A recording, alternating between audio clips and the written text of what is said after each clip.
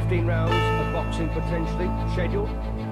Ali then, the dancing master in the white shorts. And one has to wonder how seriously he's taken this contest, coming off an eighth round knockout win in the Rumble in the Jungle over George Foreman, the same man, of course, who beat Chuck Wepner in three rounds. The crowd here beginning to marvel at Ali's uh, dancing skills. Wepner,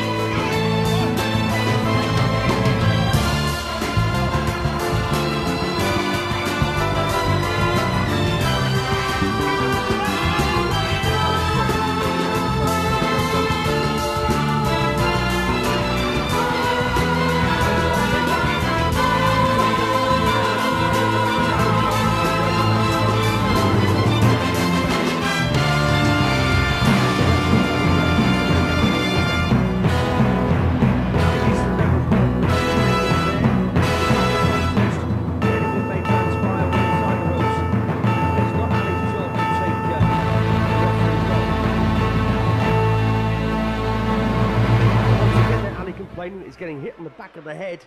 But the problem here for Ali is he's actually turning into it a lot of the time. Wepner is crude, of that there is no doubt. Once again, clubs Ali on the back of the neck.